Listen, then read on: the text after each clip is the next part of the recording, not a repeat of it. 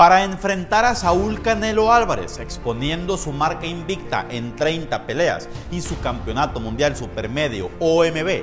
El inglés Billy Joe Sanders habló basura por semanas, intentando meterse en la cabeza del peleador mexicano. A través de redes sociales, Sanders subía videos burlándose del estilo, del cabello, de la carrera y hasta de la nacionalidad del Canelo, incluso cuestionando sus preferencias sexuales, acostado en su cama, con un mandil simulando un desnudo y acariciándose la entrepierna. Y en las conferencias de prensa promocionales, incluso en el pesaje, Sanders seguía burlándose del Canelo Álvarez.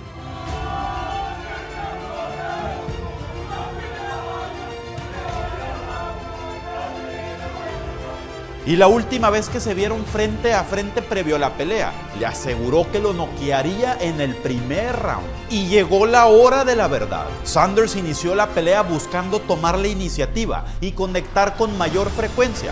Tuvo un muy buen primer round, pero Saúl empezó a marcar los mejores golpes y a hacer sentir su poder de puños en el segundo round.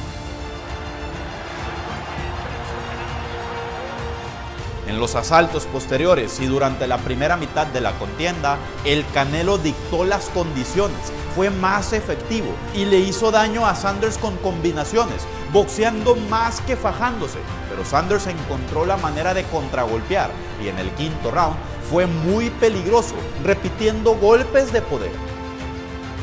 Los rounds posteriores fueron muy disputados, con buenos momentos para ambos pugilistas, hasta que en el octavo round un poderoso upper de derecha se estrelló en el pómulo derecho de Sanders, quien estaba agachado buscando evitar la ofensiva del Canelo para levantarse con sus combinaciones.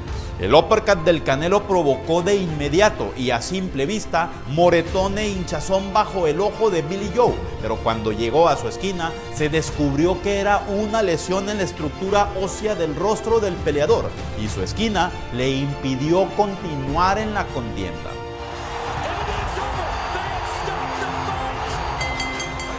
El Canelo bajó del ring con tres títulos supermedios, defendiendo sus cinturones CMB y AMB y ganándole a Sanders el de la OMB.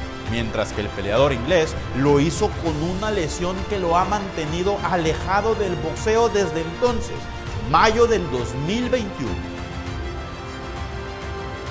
¿Qué otra pelea recuerdas en la que le callan la boca a un bocón del boxeo? Escríbelo en los comentarios. Mi nombre es Diego Soto y nos vemos en el próximo clip.